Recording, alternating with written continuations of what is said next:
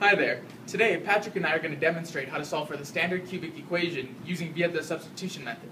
Well, first off, you want to start with the standard cubic equation, which is x cubed plus px plus q, and you set it equal to 0.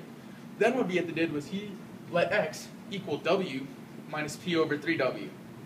And with this, he substituted it back into the standard cubic equation for x.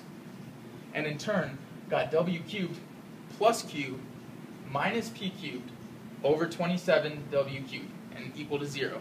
Then once you have this, you multiply it by w cubed to get it into a form where you can plug it into the standard quadratic equation, which as many of you know is negative b plus or minus square root of b squared minus 4ac over 2a. And when he multiplied by w cubed, he in turn got w cubed equals negative q plus or minus square root of q squared minus 4 times 1 times 1 over 27p cubed all over 2.